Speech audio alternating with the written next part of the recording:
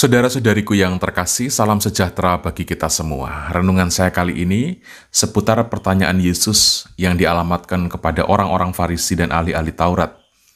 Manakah lebih mudah mengatakan dosamu sudah diampuni, atau mengatakan bangunlah, angkatlah tilammu, dan berjalanlah? Pertanyaan ini, kalau dikalimatkan secara biasa menjadi seperti ini: mana lebih mudah mengusir orang atau menerima atau menyambut orang. Saudara-saudari, Yesus hadir dalam masyarakat yang menghubungkan penyakit dengan dosa.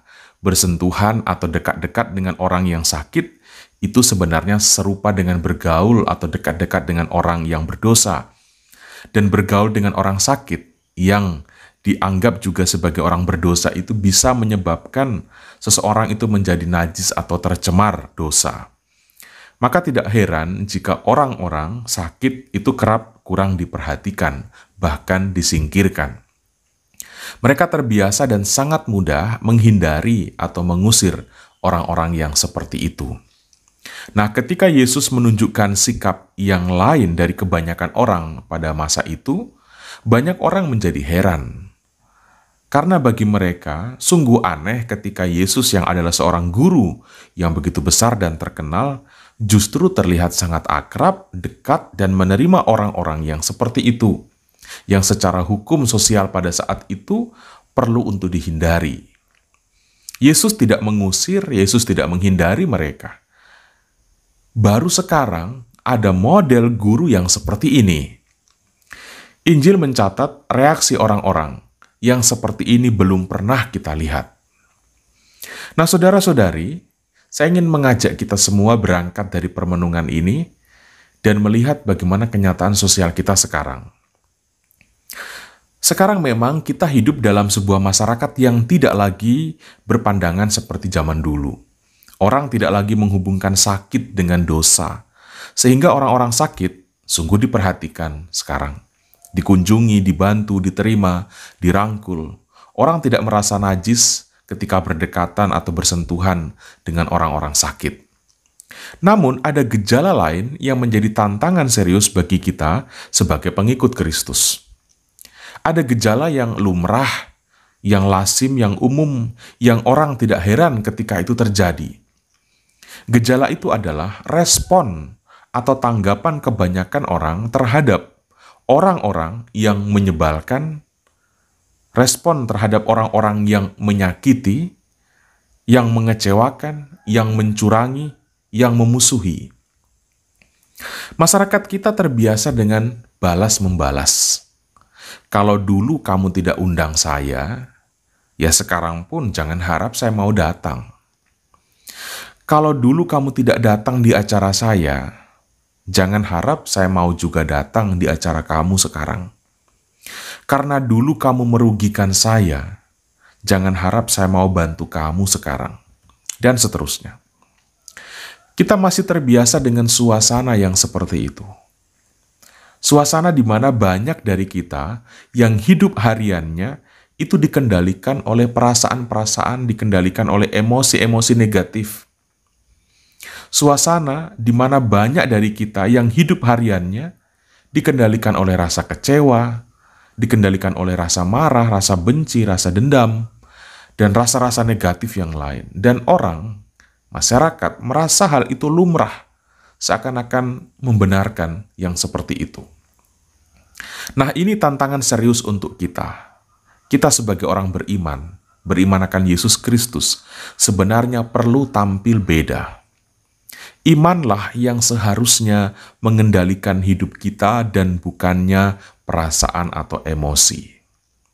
Iman akan Tuhan Yesuslah yang seharusnya mengendalikan hidup kita dan bukannya rasa dendam, bukannya rasa marah, bukannya rasa kecewa dan rasa benci yang mengendalikan keseharian kita. Ketika kita disakiti tetapi kita tetap berbuat baik, maka orang akan berkata, Ih, aneh. Yang begini kami jarang saksikan. Luar biasa. Kok bisa begitu ya? Ketika kita dihina, dipersulit, ketika kita tidak dihargai, tetapi kita tetap memberi hati, orang akan berkata, yang model seperti ini belum pernah kami lihat. Ada apa di dalam diri orang itu kok bisa begitu? Nah, saudara-saudariku, inilah ruang kesaksian hidup kita sebenarnya. Kita dipanggil menjadi berbeda dari masyarakat umum. Kita dipanggil untuk menjadi manusia yang hidup oleh iman kita akan Yesus Kristus dan bukan hidup berdasarkan perasaan-perasaan atau emosi-emosi dominan di dalam diri kita. Warna hidup kita seharusnya bukan dikendalikan oleh siapa yang ada di depan kita. Yang ada di depan kita itu bisa menyenangkan dan juga bisa tidak menyenangkan. Dan warna hidup kita tidak boleh dikendalikan oleh apa yang ada di depan kita, tetapi harus dikendalikan oleh siapa yang ada di dalam batin kita, yaitu Tuhan Yesus. Manusia dewasa adalah manusia yang dikendalikan oleh kebenaran Kristus dan bukan dikendalikan oleh suasana emosinya. Pada diri orang-orang yang demikianlah sebenarnya tampak kemenangan iman, dan kita butuh orang-orang yang seperti itu agar budaya Kristus itu semakin menjadi budaya masyarakat. Saudara-saudari, betapa bahagianya ketika banyak orang memberi kesan demikian terhadap kita, para pengikut Yesus Kristus. Yang seperti ini belum pernah kami lihat. Sebab jika tidak begitu, jika kesan ini jarang terdengar atau bahkan tidak pernah terdengar, itu menjadi indikasi bahwa keimanan kita ternyata tidak ada bedanya dengan orang-orang kebanyakan. Karena itu, mari kita berdoa bersama, semoga kesan dan pujian orang terhadap Yesus Kristus juga terdengar pada kita, para murid Yesus Kristus, yang seperti ini belum pernah kami lihat. Saudara-saudariku, mari kita sama-sama berjuang untuk hal ini, dan percayalah Tuhan Yesus menyertai kita. Tuhan Yesus memberkati kita semua.